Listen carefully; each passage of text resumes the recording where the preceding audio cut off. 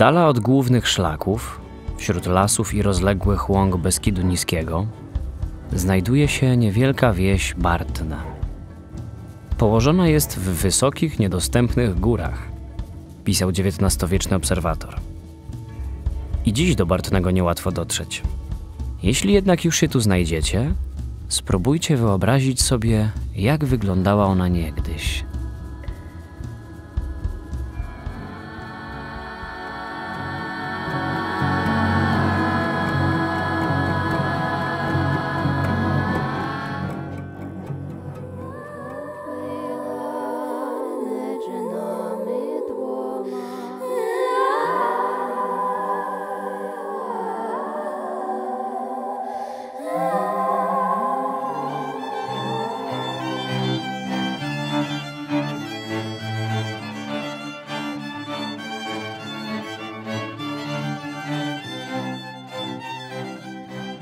Wieś rozciąga się wzdłuż rozległej doliny, nad potokiem Bartnianka. Otacza ją masyw Magury Wątkowskiej, górskie szczyty Magurycza, Dziamery i Ostrej Góry. Spacerując główną drogą, której bieg pozostał niezmienny od wieków, mijamy dziś nowe, murowane, piętrowe domy. We wsi pozostały jeszcze resztki tradycyjnej architektury wiejskiej, o oryginalnych regionalnych formach, które przypominają o jej przeszłości.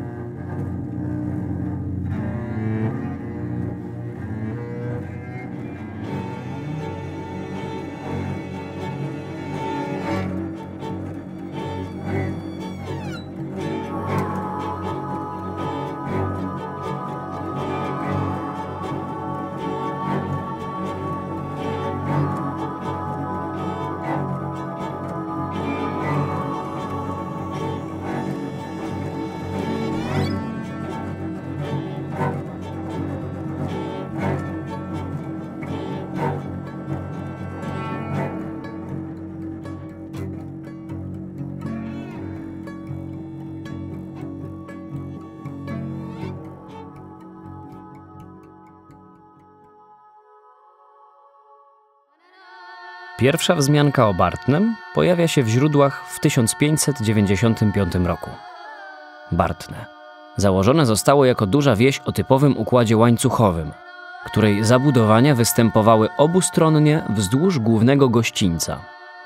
Wnikliwy obserwator dostrzeże w jej planie dawny łan sołtysi, łan plebański i charakterystyczne, długie, wąskie chłopskie pola ciągnące się od doliny aż po grzbiety górskie. Otaczające wieś góry, które zamykają dolinę, izolowały ją od innych miejscowości, co znacznie wpłynęło na jej mikroklimat kulturowy, zachowany do połowy XX wieku.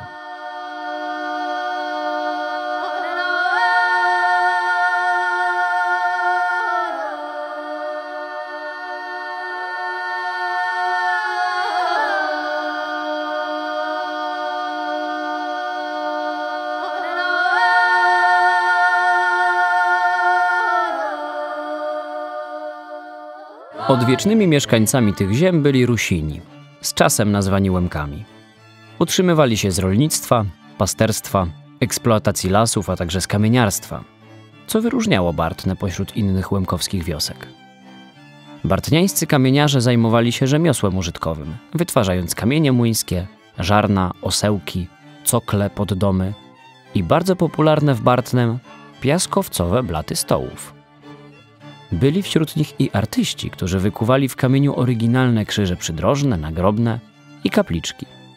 Spotkać je można niemal na terenie całej Łemkowszczyzny, a nawet na sąsiadujących z nią pogórzach. Bartne było jednym z największych ośrodków kamieniarskich w Karpatach.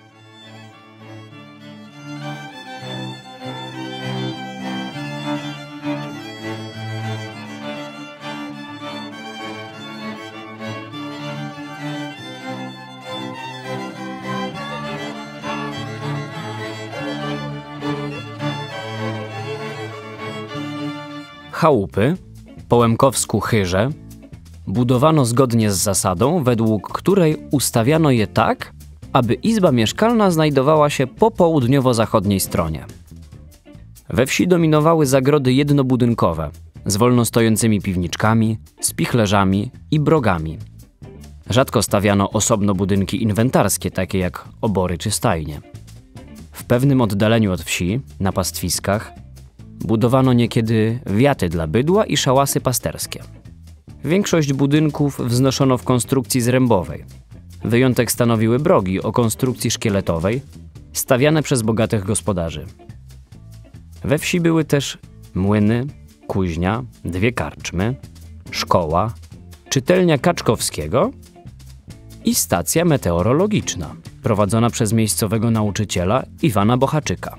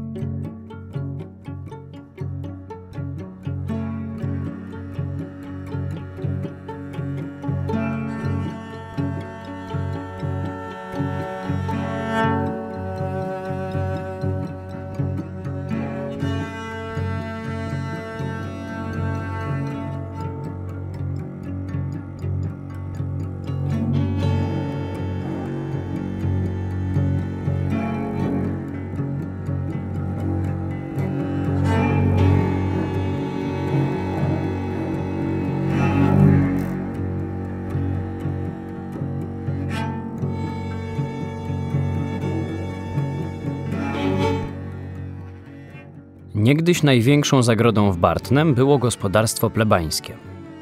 Składało się ono z dużej drewnianej plebanii, stajni z oborą, stodoły, spichlerza i piwnicy.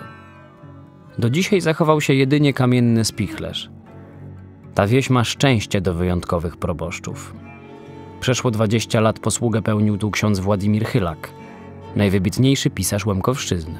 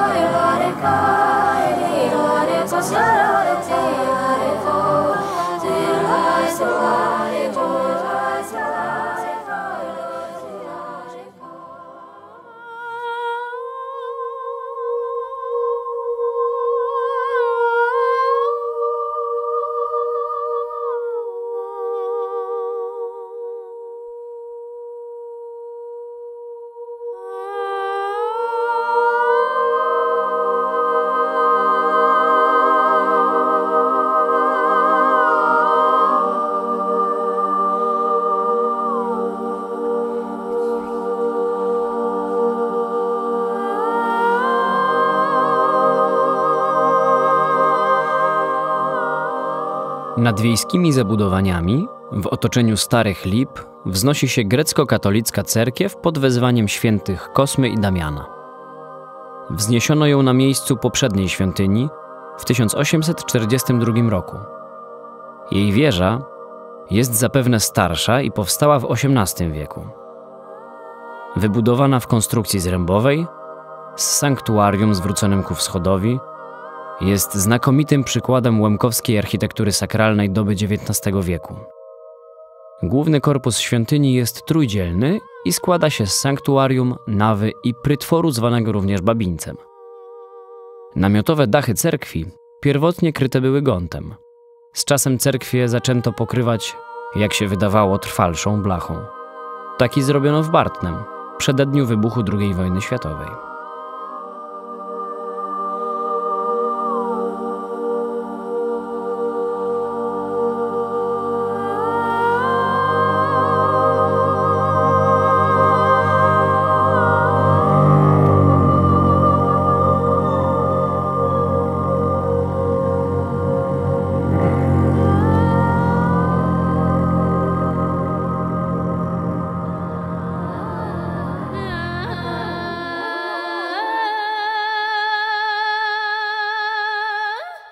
Zapewne na początku XIX wieku w sąsiedztwie cerkwi założono cmentarz parafialny.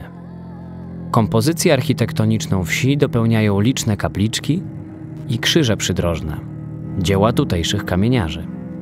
Spośród nich szczególnie ważnym dla miejscowej historii jest kamienny krzyż, wystawiony w 1933 roku ku pamięci bartniańskich ofiar austriackiego obozu koncentracyjnego w Talerhofie.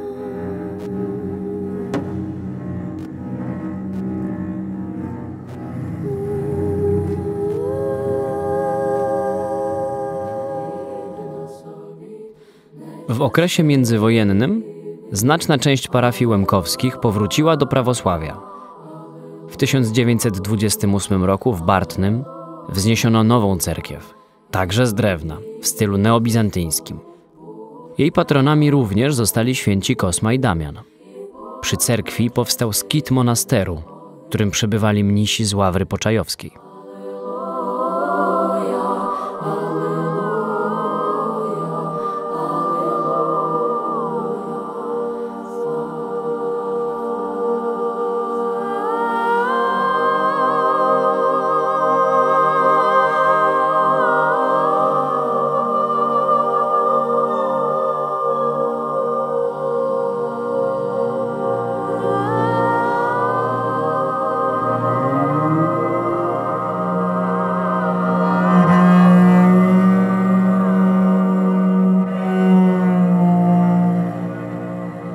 Punktem granicznym zarówno w historii wsi, jak i jej architektury jest rok 1947. W ramach akcji Wisła mieszkańcy zostali wysiedleni z Bartnego. Część opuszczonych budynków została rozebrana. Niszczały cerkwie pozbawione opieki wiernych. Z biegiem lat kolejne drewniane chyże zastępowano murowanymi domami i budynkami gospodarczymi. Te, które przetrwały, adaptowano do nowych wymagań słomiane i gontowe pokrycia dachów wymieniano na blachę, dachówkę, eternit, papę. Poszerzano otwory okienne i drzwiowe.